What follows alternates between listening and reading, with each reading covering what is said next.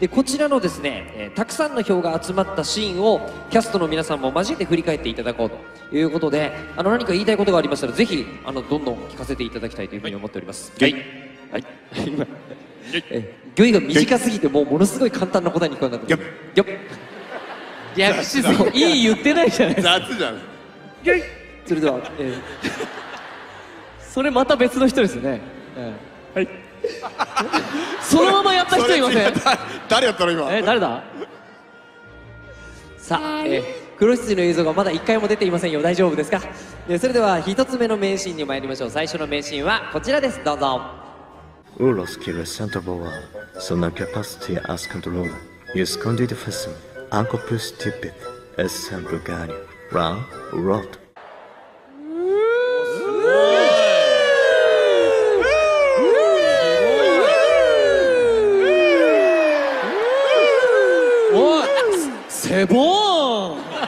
メルシーなんやねん何なの？この二人並べたの失敗じゃない？ですかそうですね。危険ですね。うわ。今聞いてても全く何も分からなかった。これはね小野君やっと生まれ故郷の言葉を使えるように。そうそうそうそう話したくて仕方がなかった。そうボルドーで産湯を使いましたからね僕はね。わーおセシボー。ンセシボーイエーイエッフェル塔今出てこなかったですね。半分日本語だ。し語。えフランス語じゃないの？エッフェル塔って。と言うてるやんエフェルトエフェルあトエッフェル塔完全にヒゲ男爵じゃないの。ルネサンさ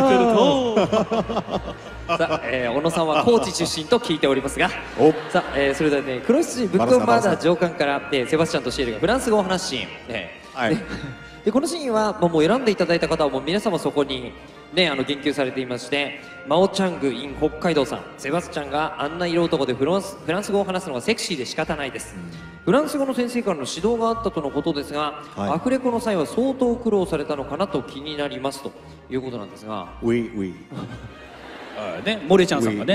うんモレちゃんです。もうユサさんがずっとねあのフランス語の先生のことを「モレちゃんまだ来ないの?」って言って違うモレシャンさん貧困なフランス人イメージですよそれは。て 昭和の男ですね。そうですよね。また昭和。フランソワーズ・モレシャンさんだと。何割ピンときてるかですよこの中で。ピンときた人？少ない。少ない。けどいる。ありがとう。いる。はいる刺さってないありがとうありがとうございます。見栄を張らなくていいんだよ恥ずかしくないよ。言ってごらん。やっぱいないですってそんなに。いいセリフなのに質問の内容が全然良くないっていうですね。恥ずかしくないよ言ってごらんっていうの。でもあの、はい。モモレシャンが、はい。モレシャンなの？モレシャンが結構、えあの厳しくって。あそうなんですか？割といい感じに「ウーロセスクションシャントルブロワール」って言ってるんですけどいやあのそこのシャントルブロワールのボボがボになってるんでボボにしてくださいとかいろいろねその音のところ厳しかったんですよすごい。でもねマーヤちゃんは、はい。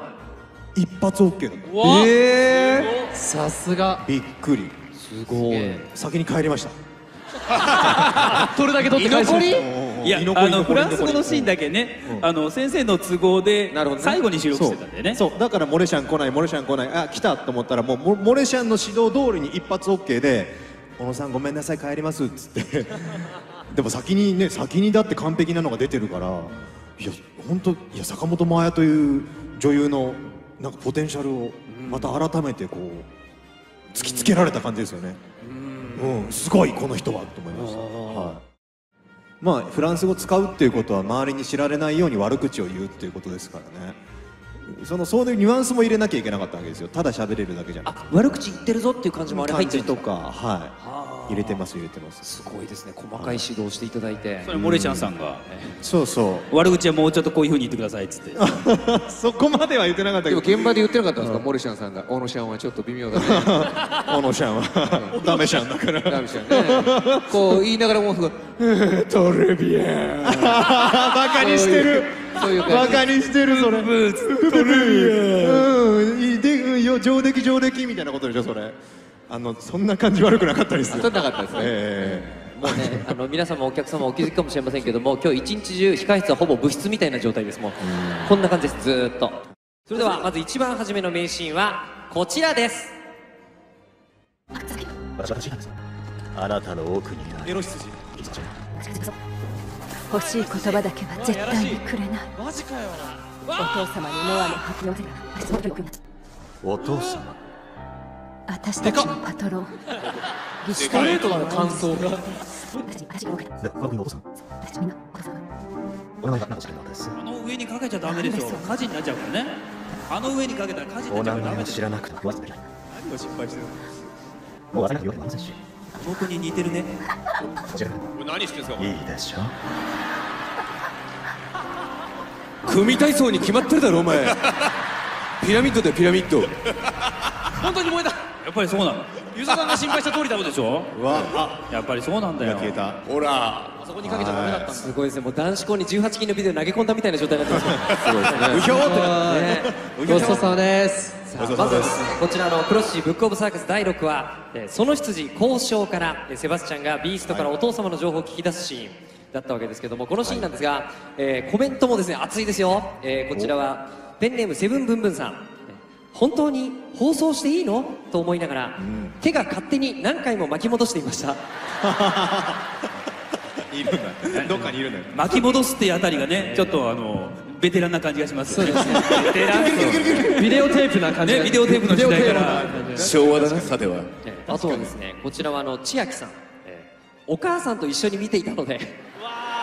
それ気まはずいやつや。あめっちゃ気まずーと思いながらでしたがかなり印象に残っています、えーセバスチャンのあのささやき私がビーストだったらキュン死に寸前。いや死んでいますお母さんも巻き戻してるんでしょうね。あそうそうその世代でしょうね。昭和ですからね。確かに。そこなんだ引っかかるの。うん。そしてこちらは呼び捨て希望 A 子からいただきました。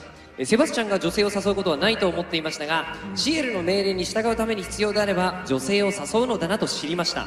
えー一晩でいいので私もセバスチャンに誘われたいですという。なるほど。おお積極的ですね。え？はい言ってあげましょうと誘ってあげてくださいよ。誘って？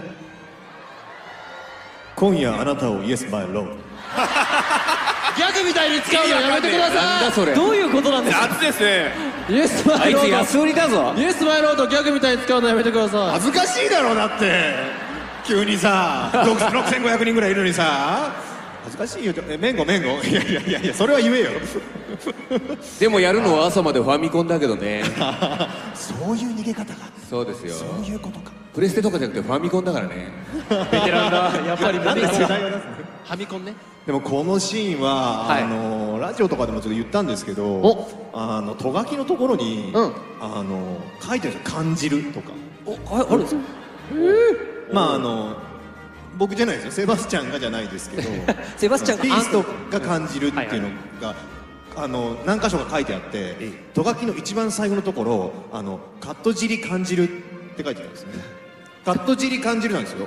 でもあのリース役のカイーダがこれあの小野君これ見て見てって尻感じるって感じてるんだけどこれどういうことかなって言われていやそれねカット尻だと思う。一番最後でそうなるってだけだと思うよって言ったの。あの人カタカナ読めないの？カットって。読みづらいやつ飛ばしちゃったのあかななるほどね。